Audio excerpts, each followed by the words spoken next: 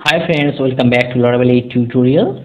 Today we will learn about Eloquent one-to-one relationships in Laravel. Laravel provides Eloquent ORM.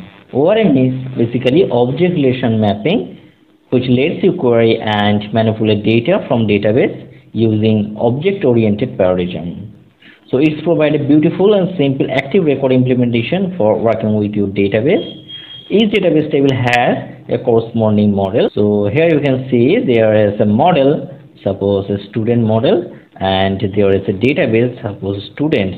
So if you check our database you can see there is a model that is students.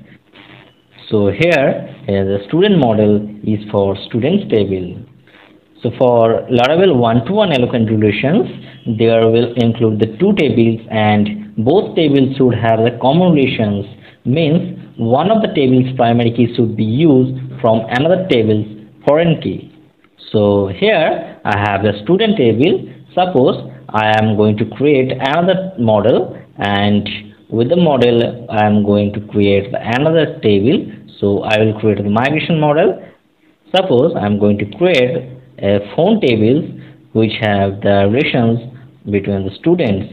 So let's create a model so to create a model, we need to use PHP artisan make model. And suppose my model name is phone. And I am going to create a migration file along with this. So I am using the minus m with this. So here we can see a migration file is created. So if we check our directory, we can see the new migration is created that is create phone tables. So I am going to modify the create functions so here you can see the create phones. So if you migrate this file a new phones table will be created. So let's configure this.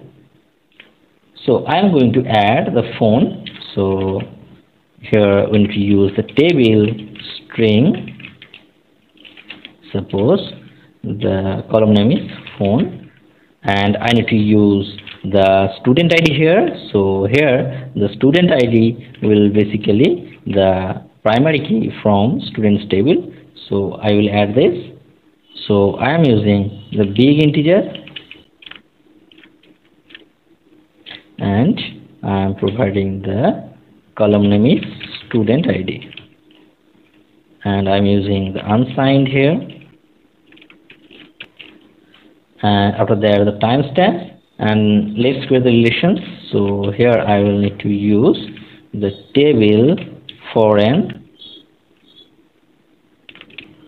and I'm using the student ID is the references of ID from student table. So we need to use on students. So name of the table is suppose students just copy it from here. And I'm using the cascading. So I will use on delete cascade. So my phone table structure is ready. So let's migrate this. So to migrate we need to use the php artisan migrate. So php artisan migrate.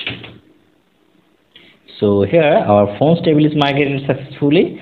And if you refresh our tutorial database we will get the phones table here. So here you can see the id phone student id created at and updated. So here you can see the it is a foreign key from the student table. So if we check the student table so here is my student table.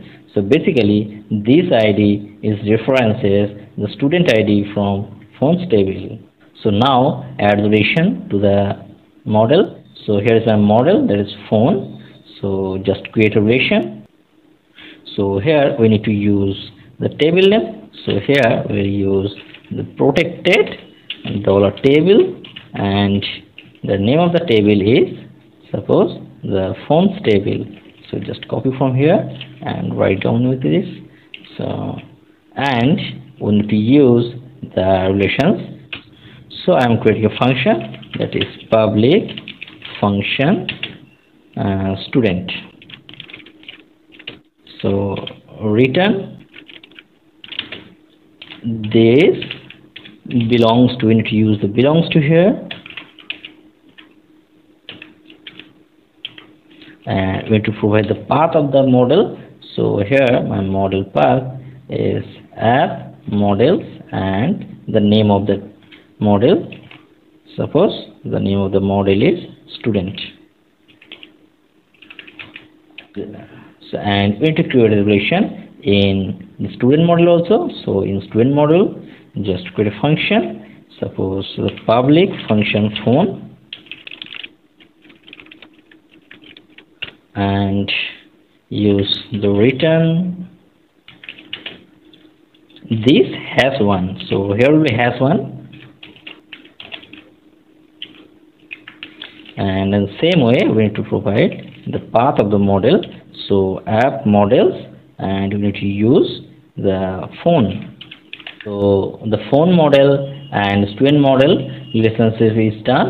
So let's create a function and call this method so we can see what happened. Here we need to create a function to add some data into these tables. So first create some data. So we will create a function that is public function add data.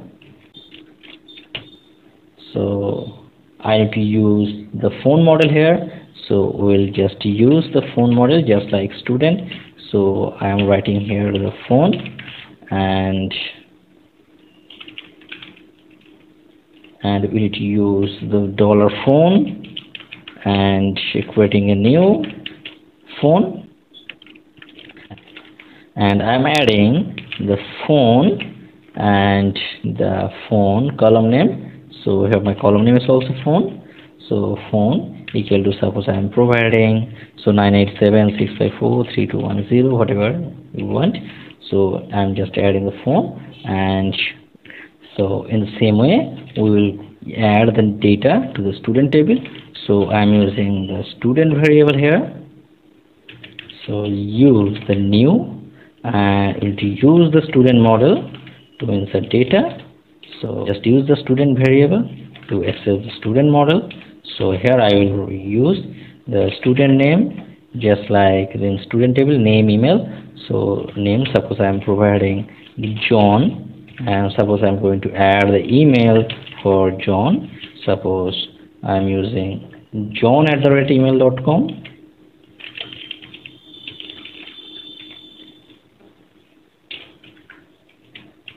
and now save this.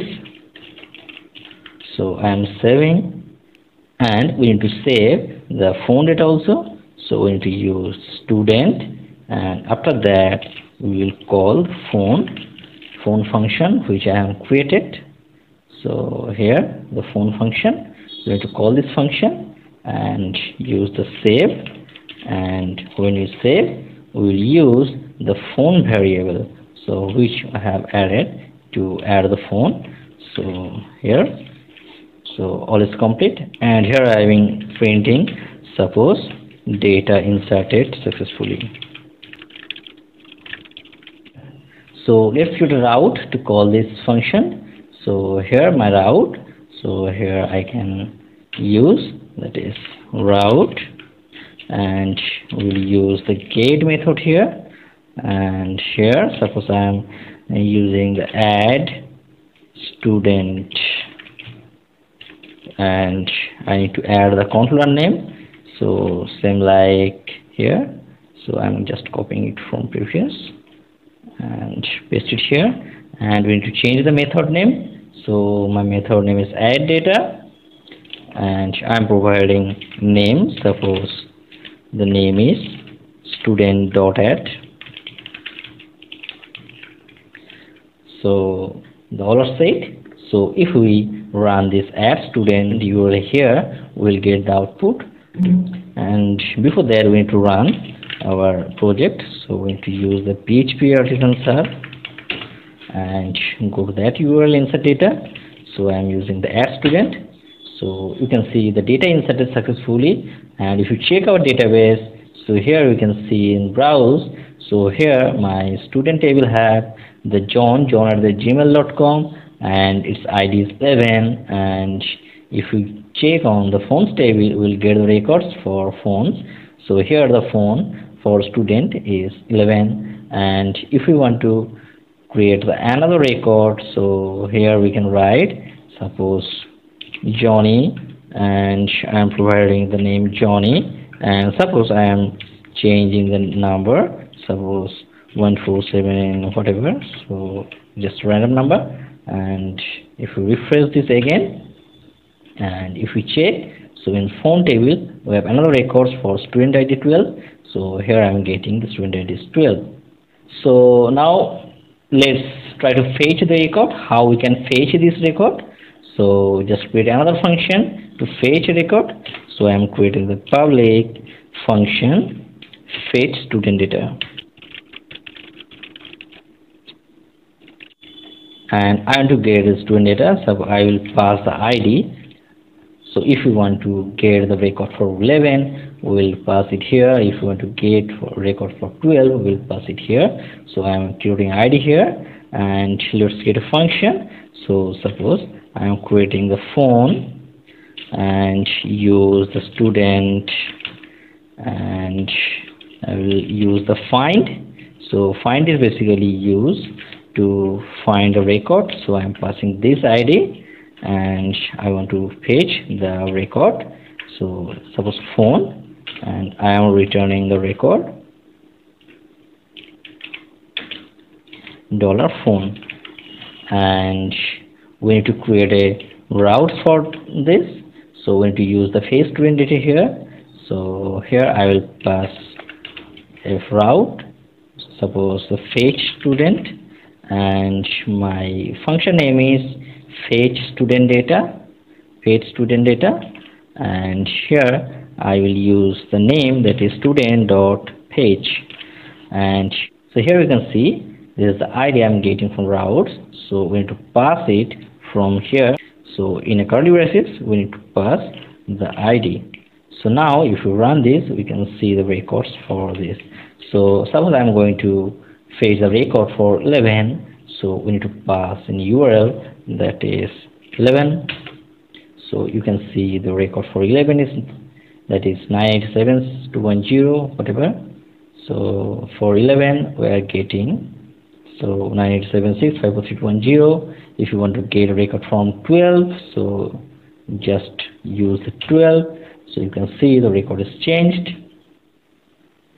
So this is all about uh, the Laravel one-to-one -one relations. If you have any queries, please comment in below comment section. Next day, we'll discuss about eloquent joining for one-to-many relations. Please subscribe this channel for upcoming video. Thanks for watching this video. Thanks for watching.